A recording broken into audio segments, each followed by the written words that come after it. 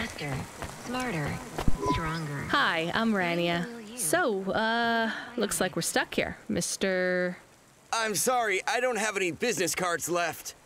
Um, me neither. But you can still tell me your name, right? I guess so. The cards are eggshell with a hollow finish. The font is an archaic neoclassic choice called Tahoma. They have my office number, so I never forget where I work. And they say your name, which is. Oh, right. Quincy Sharp, CEO. CEO. Wow. For which corp?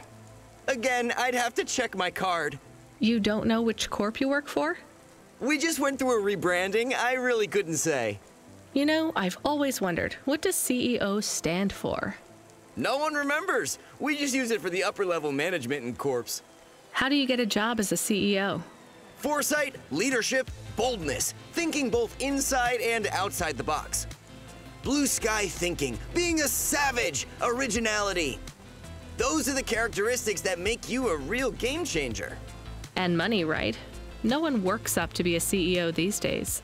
You need limbs in the first place.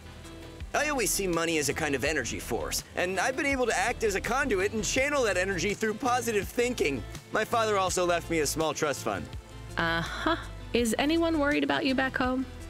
My father, for sure. Although we haven't spoken since I faked an alibi for my brother in law after he ran over that colored lady.